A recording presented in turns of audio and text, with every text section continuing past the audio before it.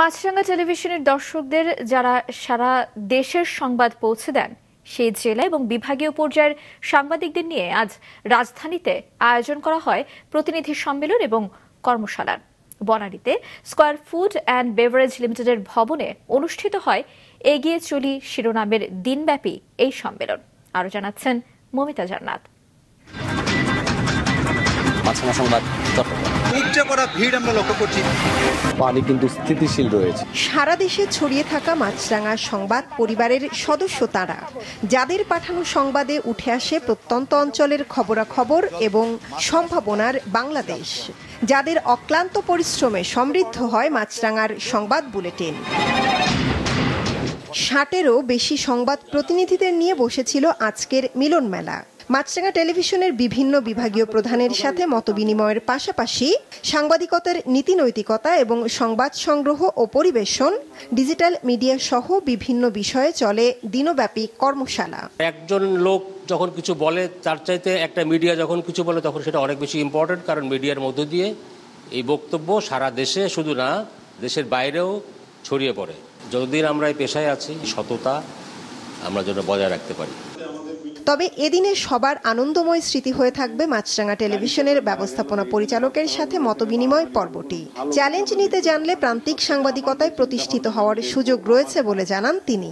রোজকার সংবাদ এবং সংকটের পাশাপাশি সারা দেশের ইতিবাচক সংবাদগুলো তুলে আনার পরামর্শও দেন তিনি। সাংবাদিক হচ্ছে একটা সমাজের মিরর বা প্রতিবিম্ব। আপনাদের মাধ্যমে বাংলাদেশের বা বাংলাদেশের বাইরে, এখন তো সোশ্যাল মিডিয়ার যুগ। সারা পৃথিবীর মানুষ জানতে পারে যে বাংলাদেশে কি হচ্ছে না হচ্ছে। চ্যালেঞ্জটা থাকতে হয়। এই জিনিসটা আপনার মাথায় রাখবেন যে সবসময় যেহেতু আমরা সবসময় খালি নেগেটিভ দেখি নেগেটিভ দেখি মাথার মধ্যে খালি নেগেটিভিটি করে। তা আপনারা যারা সারা বাংলাদেশ থেকে এসছেন আমার আপনাদের কাছে মানে রিকোয়েস্ট থাকবে যে আপনার নিজ নিজ এলাকা থেকে ভালো ভালো খবর আপনারা পাঠান। পজিটিভ নিউজ নেগেটিভ নিউজের জন্য খুব বেশি দরকার হয় না। হ্যাঁ, এটা পাওয়া যায়। কিন্তু আপনারা খুঁজে খুঁজে আপনাদের, এটা হবে কি? আপনার মনে একটা শান্তি আসবে। আপনার এলাকার যে সমস্ত ছেলে বা মেয়েরা ভালো ভালো কাজ করছে, সেটা শুধু বাংলাদেশ জানবে না, বিশ্ব জানবে। এবং এটা সমাদ দিতে হবে যে না মাছরাঙা অন্তত অন্য দেশ, অন্য টেলিভিশনের থেকে ভিন্ন। আমি এক্সপেক্ট করব যে পজিটিভ নিউজ আপনাদের কাছ থেকে। সংবাদকর্মী ও মানুষ হিসেবে কাজের যে অপার সম্ভাবনা রয়েছে, সে বিষয়ে বক্তব্য রাখেন অতিথি বক্তা, মাইন্ড ম্যাপার বাংলাদেশের ব্যবস্থাপনা পরিচালক এজাজুর রহমান। সংবাদকর্মীদের চোখ দিয়ে আমরা সারা পৃথিবী দেখি। আমি মনে করি এটা শুধু প্রফেশন না, এটা একটা অনেক বড় দায়িত্ব যেটা ওনারা পালন করেন।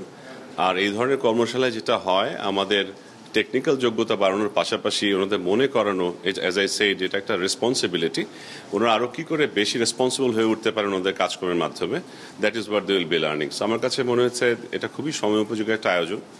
এই রকম সম্মেলনের মধ্য দিয়ে দৃঢ় হচ্ছে মাছরাঙা পরিবারের বন্ধন সেই সাথে ঘটাচ্ছে কাজের মানোন্নয়ন বলছেন অংশগ্রহণকারীরা।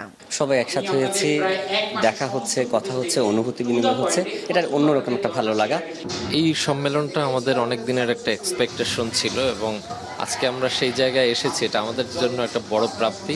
আমরা সবাই সম্মিলিত হয়ে নিজেদের মানোন্নয়নের একটা চেষ্টা করছি।